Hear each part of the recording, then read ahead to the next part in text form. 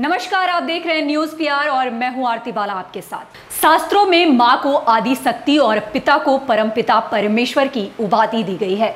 पर जनाब, दरअसल ये कलयुग है, जहाँ एक कलयुगी बेटे ने अपने ही माँ बाप को बेघर कर उन्हें दर दर की ठोकरे खाने को बेसहारा छोड़ दिया।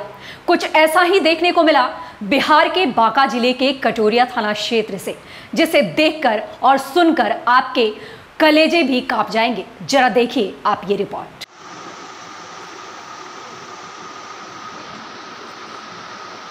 रामचरित्र मोदी जी कहाँ घर हुआ? कटोरिया। कटोरिया में कहाँ? चौक पर। कटोरिया चौक पे ही घर। जी। क्या मामला है?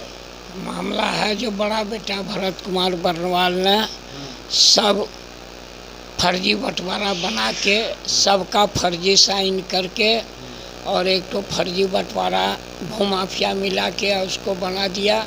अब बनाने के बाद सीओ के पास मोटेशन करने के दिया। तो सीओ के पास हम लोग गए मो, मोटेशन रोकने के लिए। लास्ट में सीओ ने बोला नहीं हम बट मोटेशन करेंगे तुमको जहाँ जाना है जाओ। बेटा की तरफ़ से क्या परेशानी जब मोटेशन किया तो घर में आप नहीं रह रहे हैं घर में नहीं रहने दिया। कब की घटना है? चार पाँच महीना चार पाँच चार पाँच महीना से आप घर में नहीं रह रहे हैं? जी नहीं हम तो ऐसे तो दो साल से नहीं रह दो साल से? वो घर से कितना ज़मीन था जो मोटेशन करवा दिया ज़मीन लगभग लगभग राजवाड़ा में है सर। डेढ़ बीघा। और कटोरिया चौक पर है एक मकान। आ एक मकान है गोसाई टोला में। मेरी सारा करा आपने नाम सब एक आपकी राज़ी नहीं थी? ना। आपने सिग्नेचर नहीं किया? ना कोई सिग्नेचर हम लोग जानते नहीं, हैं कभी? नहीं कभी नहीं। यानी आपको कितना बेटा? दो बेटा। दो बेटा। छोटे बेटे के पास अभी रह रहे हैं? हाँ। बड़ा बेटा के पास नहीं रह रहे हैं? वो रहने नहीं दिया। बोला सब हमरा हो गया। जाइए। मोटेशन हमारा नाम से हो गया भागो यहाँ से। भगा दिया। आपने। मा- मार के भगा दिया। तो मारपीट के जो भगाया बाबा तो आपने आवेदन नहीं दिया थाना उना में बोलने नहीं गए? तो वही तो दिए लेकिन थाना में लिया नहीं। भूमाफिया मिला के उसको पहले पैसा वहाँ दे दिया था। तो घुसखोरी चल रहा है हाँ। भ्रष्टाचार चल रहा है। हाँ। सुमित्रा देवी। क्या मामला है? क्या प्रॉब्लम है? रो रही हैं आप। क्या दिक्कत? कर दिया। बटवरो नुआरो झूठ मूठ के बटवरा बोल दिया बटवरा हो गया और उसका पैसा घूस दे दिया अब मोटेशन करा दिया। मोटेशन करा लिया। हाँ। मैंने आप लोगों के खिलाफ मैंने फर्जी बंटवारा हाँ फर्जी किया। हमरा भरत बनवा। बड़का बेटा हाँ, क्या नाम है उसका?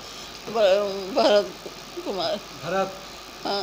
कहाँ घर हुआ आपका? रजवाला हुआ कटोरिया रजवाला कटोरिया? हाँ। तो जहाँ घर हुआ वहाँ नहीं रह रही हैं आप? वह न रहने दिया कौन मुश्किल से घर बनाया वो कितना गोल हमको चला गया। रात दिन खटा रात दिन खटा। भगा दिया? रात दिन खटा। अभी गोल चला गया हमको डाला चला गया।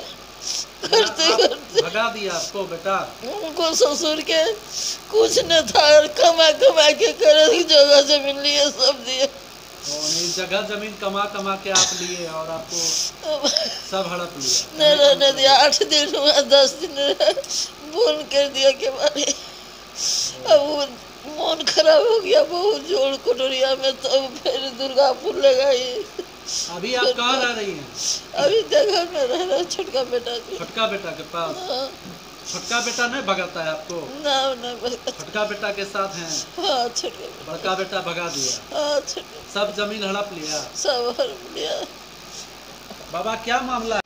सीओ सर के पास मैंने कई आपत्तियाँ किया लेकिन आपत्ति के बाद भी जब मोटेशन कर दिया गया तो मैं डीसीएलआर के पास गया था। डीसीएलआर मैडम ने कहा कि मोटेशन के पूर्व आपने आपत्ति किया था। तो मैंने कहा कि मैडम, मैंने कई आपत्ति दिया था और मैंने आपको भी दिया है और एडीएम साहब को और जगह लेटर मैंने दिया था। तो उन्होंने कहा कि ठीक है, मोटेशन टूट जाएगा। आपत्ति पूर्व, मोटेशन पूर्व आपत्ति किया था तो मैंने हाँ बोला हाँ। लेकिन फिर ये लोग आपस में वो भ्रष्टाचार में लिप्त होके और उन्होंने फिर मेरा मोटेशन रद्द नहीं किया। उन्होंने लिख दिया कि आपका अपील खारिज किया जाता है और आप सक्षम न्यायालय के पास जाइए। बताइए, आप कौन सा सक्षम न्यायालय के पास जाएँ? मेरे पिताजी बूढ़ा हो गए हैं। वो अब ऐसा चक्कर लगा दिया कि मेरे पिताजी दौड़ते दौड़ते मर जाएँ, कोर्ट का चक्कर लगाते लगाते। फिर कब फैसला होगी जब पिताजी मेरे मर जाएँगे? तो उस फॉर्जरी पेपर का पूरा जाँच किया जाए। उस फॉर्जरी पेपर में हम लोगों ने किसी ने साइन नहीं किया है।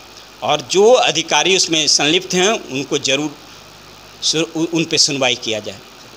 फ़िलहाल अब ये पीड़ित परिवार न्याय की गुहार लगा रहा है। अब इन्हें न्याय आखिर कब तक मिलेगा, ये देखना बेहद खास होगा। और ऐसी ही तमाम खबरों से जुड़े रहने के लिए आप बने रहें हमारे साथ, और तब तक के लिए हमें दे इजाज़त। नमस्कार।